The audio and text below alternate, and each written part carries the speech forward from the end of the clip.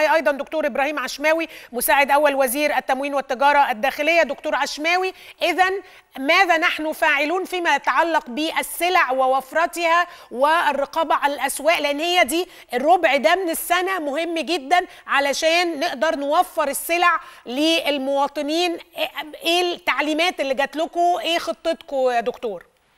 مساء الخير على حضرتك وعلى السادة المشاهدين سعيد بتواجدي معاكم شكرا. وكنت أتابع عن كسب الحقيقة الزميل الفاضل بيتحدث عن الآثار أو الموجات التضخمية الواردة من الخارج سواء من السوق الصيني أو من الأسواق الأوروبية. إحنا الحقيقة عندنا مخزون واحتياطي آمن من السلع الأساسية يفي باحتياجات البلاد لفترات تتعدى المتوسطات العالمية، يعني عندنا احتياطي امن للسلع يصل إلى ست شهور. والحقيقة كان أكبر مثال على قدرة الدولة في الوفاء بالتزاماتها من سلع وخلافه فترة كورونا. والحقيقة الفترة ديت لم نشهد فيها أي قصور أو أي نقص لأي سلعة من السلع أو أي تحركات سعرية في سلع أساسية.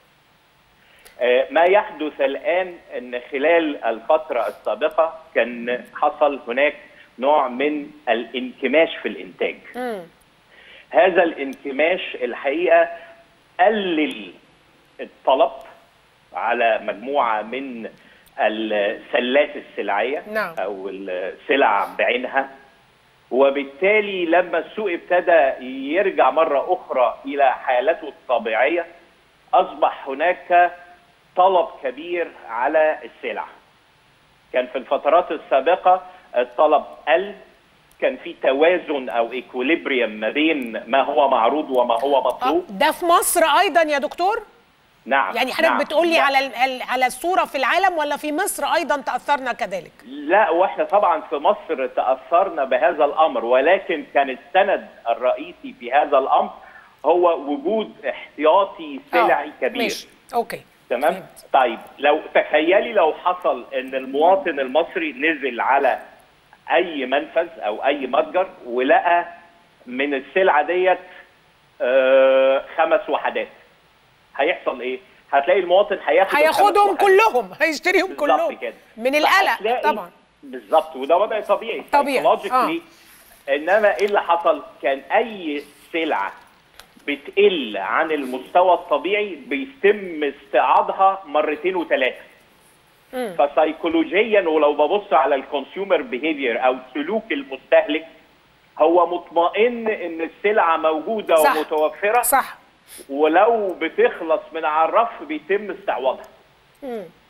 ده مهم جدا ده الحقيقة ده مهم جدا. بالظبط ده كان يتطلب إن ال supply chain بتاعك أو السلاسل الإمداد تكون بتعمل بكفاءة إن السلعة بتنتج أو السلعة موجودة في المخزن وبتصل إلى المتجر أو السلعة بيتم ضخها سريعا إلى المتجر وإن المتجر كمان عنده احتياطي آمن من هذه السلع يعني تمام. أنت عند حضرتك عندك مجموعة من الطاقات التخزينية يا إما طاقة تخزينية في المتجر يا إما طاقة تخزينية في المخزن الكبير يا إما عندك طاقة تخزينية على طيب. مستوى الدولة. آه بس أنا لازم هنا أقف وأقول إن ده بيتطلب إمداد تمويلي من المالية علشان بس إيه؟ دي فلوس. يعني دي فلوس بيتم ضخها مش إن إحنا الحاجة عندنا جاية لنا كده آه، من ال- من الكوكب الآخر. دي فلوس إحنا بنقرر إن إحنا هنشتري وهنكون عندنا هذا المخزون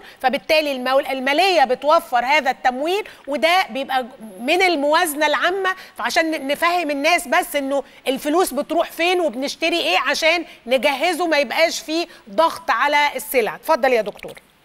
أنا عايز بس أشير لنقطة مهمة جدا في هذا السياق أستاذة لبيب إن عند تولي فخامة الرئيس سدة الحكم كان احتياطي الدولة من سلع أساسية لا يتعدى شهر. شهر واحد. نعم. وكانت تعليمات فخامة الرئيس إن إحنا نوفر الدعم المالي اللازم لتكوين احتياطي آمن من السلع الأساسية. وفعلا زاد المخزون من شهر لثلاث شهور والنهاردة بنتحدث فيما يقرب من ست شهور مش كده طيب. بس ده إحنا بنبني احتياطي آمن من سلع نهائية يعني بتكلم على القمح والزيت. والسكر. والرز. واللحوم والدواجن عندنا ست شهور آه من السلع ديت متواجدة في مخازنها. وده اللي خلى الناس ما تحسش بالأزمة وقت الكورونا. كنا بنتفرج. على الفيديوهات. وألمانيا وفرنسا آه انه إن السوبر ماركت فاضي إنه الناس بتخطف الحاجة إن كل الرفوف كانت فاضية. ده اللي خلى الناس هذا التفكير بهذا الشكل وهذا الضخ للتمويل آه ما حسناش الحقيقة لازم نقول إن إحنا ما حسناش بنقص أي سلعة. طيب كلمني بقى يا دكتور عن الربع الآخر يعني التعليمات جات لكم إيه؟ استراتيجية الدولة إيه في المرحلة القادمة؟ فكرة إنه أنا عندي موجة تضخمية ارتفاع في الأسعار إزاي هواجه هذا الارتفاع كي لا يشعر به المواطن؟ آه، كان متوقع يا أستاذة لميس بعد آه، هذا النوع من الانغلاق أن يحدث موجة تضخمية تصيب كافة الأسواق. مش كده بس؟ قد يتم التنبؤ فيما هو قادم إن يحصل عندك ستاكفليشن ستاكفليشن آه نشرح للناس. نشرح للناس يا يعني دكتور لو سمحت. نقول يعني إيه stag يعني كساد نوع من الكساد التضخمي آه. اللي هي زيادة يعني في الأسعار ركود وشح- وتضخم سوا الاثنين بالضبط وشح في الطلب. فده وشح. أسوأ ما يصيب الاقتصاديات العالمية إن يحصل كساد تضخمي أو ستاكفليشن زيادة سعرية مع قلة الطلب أو هناك نوع من العزوف عن آه، الطلب. طيب إيه بقى الحال اللي إحنا هنعمله؟ الحقيقة عندنا توجيهات إن إحنا نعمل ما يسمى strategic warehouses أو مستودعات استراتيجية لزيادة حجم المخزون من سلع نهائية. نحن مطمئنين تماما على المخزون السلعي الأساسي من المواد الأساسية زي ما ذكرت اللحوم والدواجن أه بتحدث عن سلة الحبوب ما عندناش أي مشكلة في الغلال. إنما أنا دايما بقول إن هيكون هناك انعكاس زي مثلا في أسعار الزيوت مثلا زادت بدل ما هي لو هقول ب 100 بقت ب 150 وإحنا بنستهلك تقريبا 98% من استهلاكنا من الخارج. آه. يعني إحنا بنستورد 98% من سلعة الزيت وعشان كده كان في توجيه من فخامة الرئيس الاهتمام آه. بالزراعات الزيتية وبالتالي أنا بأرى خلال الفترة القادمة تعزيز الاحتياطي الاستراتيجي من سلع أساسية هي مهمة رقم واحد. المهمه رقم اثنين أن يحصل هناك نوع من التوازن ما بين العرض العرض والطلب. يعني مش عايز أقول إن أنا هكون احتياطات تصل إلى تسع شهور وأنا عندي ان الطلب بتاعي على قدر خمس وست شهور عشان آه. ما بقاش بعمل انفاق غير مبرر أيوه في وده نقطة مهمة. طب دكتور عشماوي اذا هناك بعض السلع سيرتفع ثمنها يعني برضو لازم نشرح للناس إنه في بعض السلع يعني الدولة بتوفر آه، آه، آه، بمخزونها الاستراتيجي آه، بتوفر سلع كثيرة ولكن في سلع هيرتفع ثمنها ده ده حدث في الزيت حضرتك لما زاد المادة بتاعه خام الزيت الصويا زادت زي ما قلت لحضرتك بنسبة 50% إحنا قدرنا ان إحنا نقول بدل ما بنقدم للمواطن المستفيد من الدعم الإزازة لتر عملناها 800 مللي. وبنفس السعر اللي هو 17 جنيه. فبنبتدي نعمل إن إحنا نقلل في العبوة أو آه، في توازنات. المستوى مع الإبقاء على السعر كما هو. تمام تمام. أو يحدث زي- زيادات سعرية طفيفة لا تتوافق مع الزياده السعرية العالمية. يعني أنا بتحدث النهارده عن سلع أساسية في السوق المصري. نظيرها في الخارج وفي أسواق عاتية آه، التقدم والرأسمالية.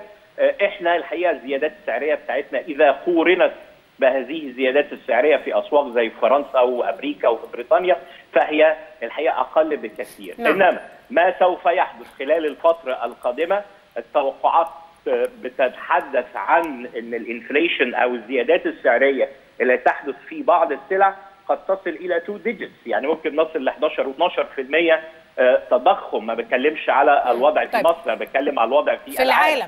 سؤالي الأخير عن الرقابة على الأسواق لأنه آه أنت في النهاية ال- الناس ممكن تزو... شافت الربع جنيه في ال... في البنزين مثلا برغم إن مفيش زيادة في السولر لكن هو شاف الربع جنيه في البنزين فأوريدي في آه، آه، أماكن معينة راح مزود الأسعار. هل أنا هنا بقدر أعمل رقابة على الأسواق ولا طريقتي الأخرى هي إن أنا أوفر معروض في مكان آخر آه، آه، ال- الإجابة من خلال زيادة حجم المعروض المعروض. يعني كل تمام. يعني كل ما أعمل إتاحة وأزود حجم المعروض صح. من السلع بتنضبط الأسعار الموضوع كله حضرتك هو عرض وطلب كل ما زودت العرض وعملت إتاحة أكثر ببدائل أفضل فبالتالي ستتهادى الأسعار وتصل إلى درجة الاستقرار. عندنا الرقابة في التم بتتم في الوزارة من خلال جهاز حماية المستهلك مباحث التموين والجزء الخاص بالرقابة الداخلية في الوزارة مفتشي التموين نعم. ولكن أنا بعود على آه، آه، المواطن المصري إن عند وجود زيادة سعرية غير مبررة أن يبلغ بهذا الأمر أو يلجأ إلى البدائل. آه يروح لمكان تاني يروح لحتة تانية يروح ل أو ل- البديل السلعي. ما أنت عند حضرتك مثلا والله أنا لو النهارده آه، يعني وده مش صحيح. النهارده لو لقيت سعر الرز إحنا عندنا فائض في الرز وعندنا اتفاق وعندنا مخزون كبير من الرز يصل إلى ثلاث شهور وهنبتدي موسم الرز فهنصل إلى احتياطي خمس وست شهور في الرز. بس لو ما لقيتش رز ممكن في بديل المكرونة. لا انت عارفه حضرتك ساعات إحنا في ثقافتنا مثلا لما نلاقي البطاطس بيغلى كلنا نروح برضه ونبقى عايزين ناكل بطاطس في نفس اليوم. طب ما أنا ألجأ إلى بدائل البطاطس وخلافه. فعايزين توعية أكثر آه، إن المواطن يبلغ على أي زيادة سعرية غير مبررة إن المواطن يبلغ لو سعر السلعة مش مكتوب آه، حرفيا يبلغ آه، حماية المستهلك أو مباحث التموين. وهناك من الآليات الكثيرة نعم. اللي بتسهل للمواطن من قنوات إن هو يتفاعل مع الحكومة. بشكرك دكتور إبراهيم عشماوي مساعد أول وزير التموين والتجارة الداخلية. اذا هذه أزمة تضخمية عالمية وإحنا بنشوف آه، بتأثر علينا إزاي وإزاي نقدر نواجهها. واجهناها وقت الكورونا ما كانش فيه آه، هذا التضخم ولكن واجهنا آه، أزمة نقص السلع والإمدادات في الكورونا والحقيقة ما حسيناش بأي شيء.